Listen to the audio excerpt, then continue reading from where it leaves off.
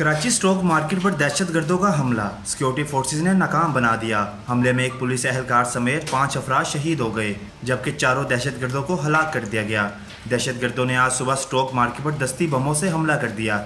جبکہ آٹومیٹک ہتھیاروں سے اندھا دھن فائرنگ کی، جس کی زد میں آ کر ایک پولیس اہلکار اور چار سیکیورٹی گارڈ شہید ہو گئے۔ اطلاع ملتے ہی پولیس اور رینجرز کی بھاری نفری موقع پر پہنچ گئی۔ دہشت گردوں کے ساتھ فائرنگ کے تبادلے میں چاروں حملہ آور مارے گئے۔ سیکیورٹی فورسز نے علاقے کو گھیرے میں لے لیا، جبکہ تحقیقاتی اداروں نے شواہد اکٹھے کرنا شروع کر دیے۔ کراچی پولیس چیف نے تصدیق کرتے ہوئے بتایا کہ سٹوک مارکیٹ پر دہشت گرد حملہ ناکام بنا دیا گیا، جبکہ حملہ کرنے والوں چاروں دہشت گردوں کو بر وقت کاروائی میں ہلاک کر دیا گیا۔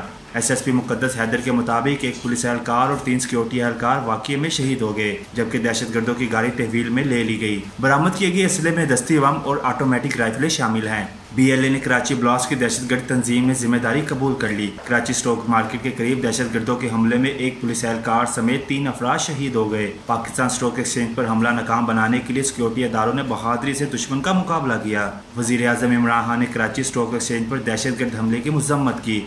انہوں نے کہا، سیکیورٹی اداروں کے جوانوں نے بہادری سے دشمن کا مقابلہ کیا اور اس حملے کو ناکام بنایا۔ وزیر اعظم عمران خان کا کہنا تھا، پوری قوم اپنے بہادر جوانوں پر فخر ہے۔ شہدا کے لواحقین سے دلی ہمدردی اور زخمیوں کی صحت یابی کے لیے دعا گو ہیں۔